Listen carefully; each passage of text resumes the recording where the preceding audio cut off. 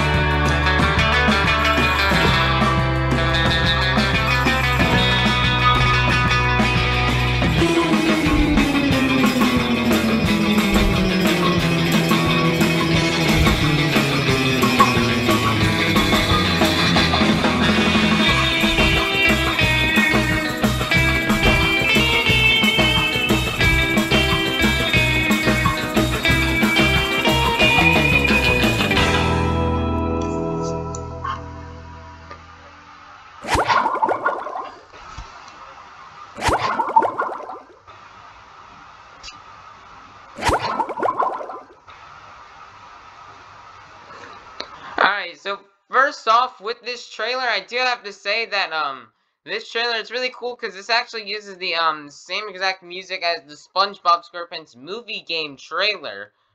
So that is just very interesting and very cool to see here. Well, we're gonna now relook at that, but go look at it more in depth. Uh, let me see here. I need to go back to the playback speed. Let's put it to 0.25. And now let's go all the way back to the beginning. Okay, so first off, we see here, this is just a regular intro to the Jellyfish Fields level. Nothing really new here. The entrance and the entrance cutscene to Goo Lagoon. Right there. Um, the introduction level cutscene to Kelp Forest right there.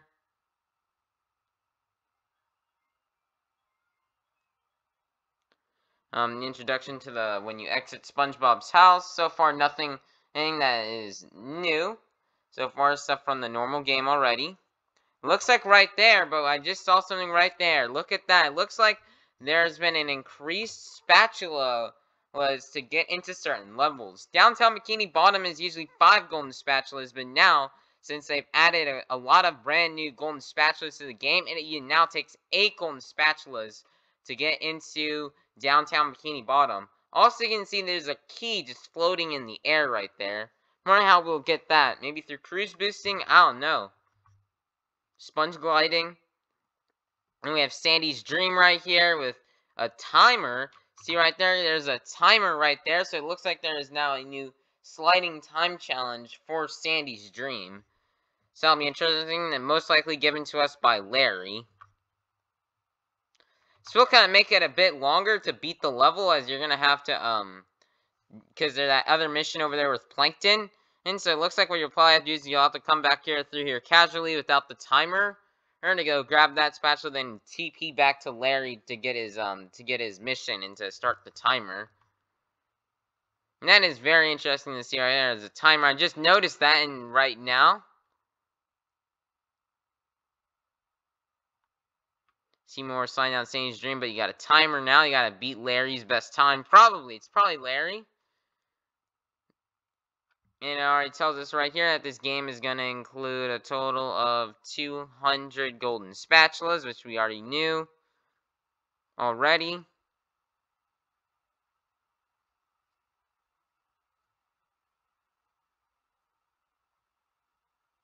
Then the camera starts spinning. Okay, now this is a um, thing we've already seen before from a preview where SpongeBob has to go around all these tilting things to get to the golden spatula.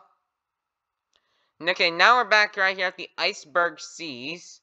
Um, when we originally saw the preview as this, you can either play SpongeBob or Patrick. I guess they're now playing as Patrick now here instead of SpongeBob. And also looks like here they added snow to this thing instead of it just being no snow. They added snow to this, so that's really cool.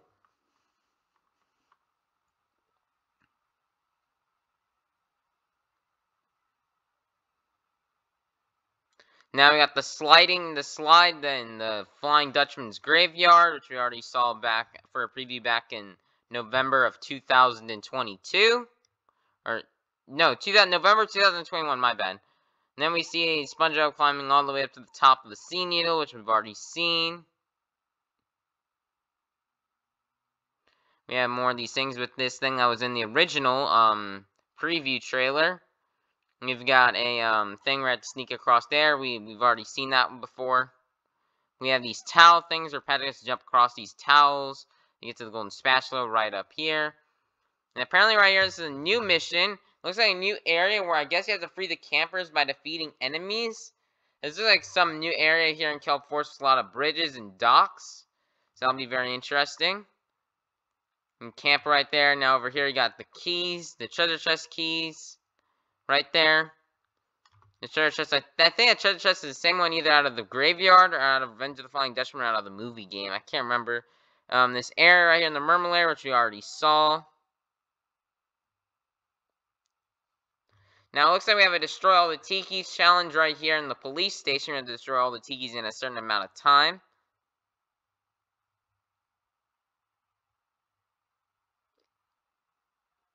We have a new challenge right here in Rock Bottom where you have to swing across these swinging hooks as Sandy. To get to somewhere. I don't know where it takes you. It looks like it takes you back to the bus stop. Next time we got this rolling pufferfish, giant rolling pufferfish that we've already seen before. This is actually the last preview we analyzed back in August of 2022. Now it looks like right here, it looks like he gets him. and so it's telling us about some of these new faces we get to meet. So first off, there's this thing with Robo Racer that says, Beep Boop, I am no ordinary robot, I am the greatest boat racer in Bikini Bottom. Beep Boop. And fun fact, this robot looks like uh, the robot out of the PC version of Battle for Bikini Bottom. So, so that is interesting how they're incorporating the robots from the PC version of this game into the actual game. Then we've got right here, we have um, this jellyfish hunter, which we've already seen. We have to go hunt for the golden jellyfish.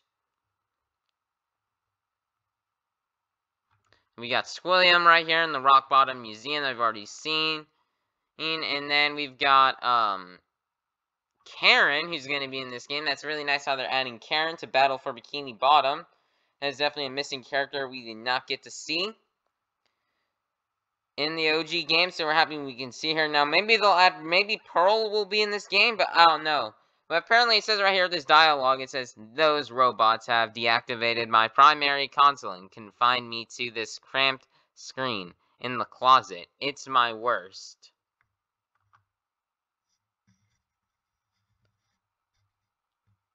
It's nice to see right there. Now we've got a new object, Invisible Spray. That looks like rock bottom right there. Apparently it turns you invisible when you touch it. Oh, I think also if you watch that normal speed, looks like it goes slower. We have a, a new a paddle wheel, but this time only for the spin attack, not just for the bubble bowl. It looks like right here, this is a new area to the industrial park level, so that'll be interesting here. It's here, this new area to industrial to the industrial park area. I don't know if this is going to be before or after the boss battle. Harmony thinks this will be before. Almost like I see green goo back there. I don't know if that's the boss fight or if that's just um some part of the area. also 20 new socks you can find. Right here, so this kind of gives us an answer to the Robo Racer, to where apparently it'll be kind of like the movie game in a way where you're going to have to race around the first area of downtown Bikini Bottom for three laps to determine the winner. So even when it looks like you're, it looks like you're gonna have to race the robot in the boat while you're around with the sponge ball. Also looks like here the sponge ball is going increasingly faster, so I think, I think there may be like a Sunday power-up or something here, or the sponge ball is just faster for this.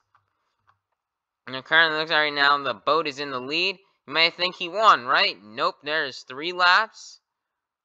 All the patrons in the stands, which kind of look like the ones from the SpongeBob movie game.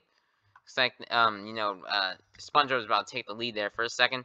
And I got a new area to the sand mountain level where I have to, these, these ski things, I, like, if you've been to a ski thing, you'll probably know what these are. I can't remember what these things are, but, like, yeah, they take these things to get up to the top of, like, the ski slopes and they can ski down it, I guess.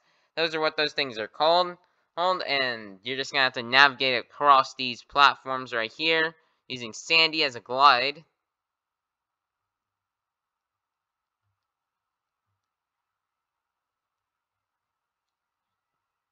Next up, we've got new another area right here.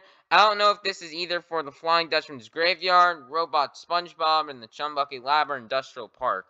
As it looks like this could be either one of these three levels. Part of me thinks it's Robo SpongeBob because of this wall background looking like Robo SpongeBob, but so we'll have to see.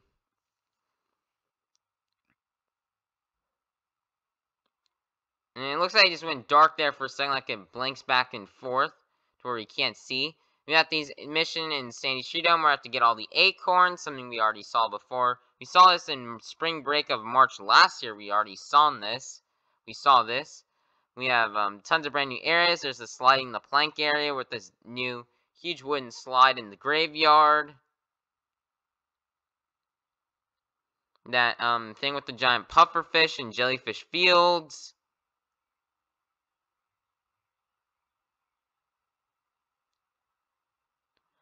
Industrial Park. It looks like that new area of Industrial Park right there.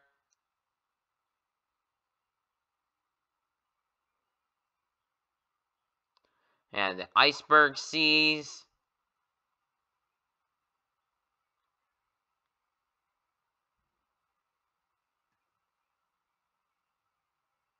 And the area right here in the in the patty vault. Right, it looks like he got he got out of bounds here. We have to protect the safe. Then we analyzed this in January of last year. This new area to Sand Mountain right here. There's a bunch of boulders and you're climbing this time instead of sliding. It looks like right here in a really foggy area of Sand Mountain right here where it looks like you're going to have to collect these crystals. I don't know if Marco Boy has now lost even more crystals, now this time in Sand Mountain and in the Kelp Caves. So let's see what these are for. It looks like more area of like the industrial park right there with another sock. Parkouring across here, looks like there's a golden spatula right over there. Looks like right here they've also reincorporated Patrick's scrapped dream is now back. So that is really cool how Patrick's dream is is back.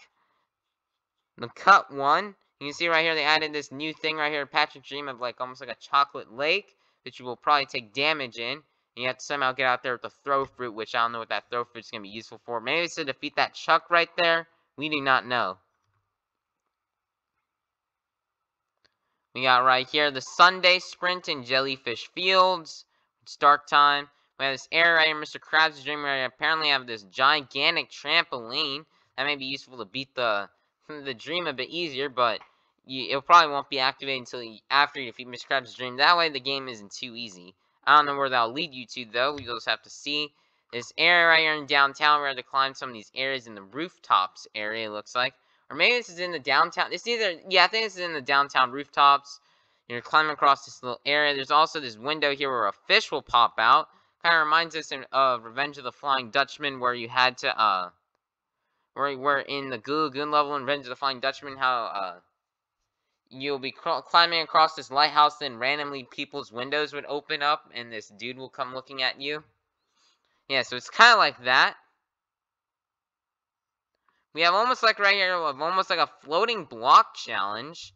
Kind of like how in Revenge, uh, kind of like how in the movie game, where you'll have all these things where to jump around, and all the different items of the sorts out of seeing Jellyfish Fields are floating around.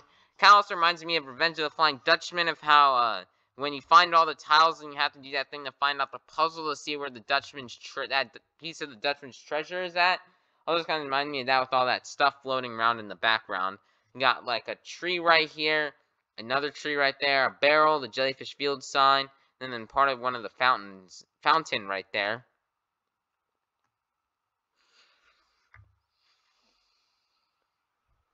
And then we have right here this weird abominable, almost like snowman, maybe the Yeti crab. I have no idea what this thing is right here looking out at us. Here at the eyeballs, have to see what that is. And this disco challenge in the Murmur which we've seen before. Yeah, this area right here, I don't know what level this is in, but there's a crane right there, and it picks up shiny objects that I guess will put into your inventory, so I guess it's a good way to grind for shiny objects.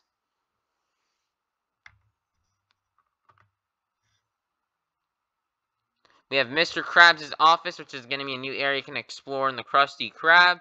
The Krusty Krab, not only can you explore the dining area, but yeah, I guess you can now go into the kitchen, the patty vault, and now Mr. Krabs' office. Is almost complete. I hope we can go into... If we can go into the Krusty Krab bathroom, then that'll make this level complete, where you can go inside and explore the entirety of the Krusty Krab.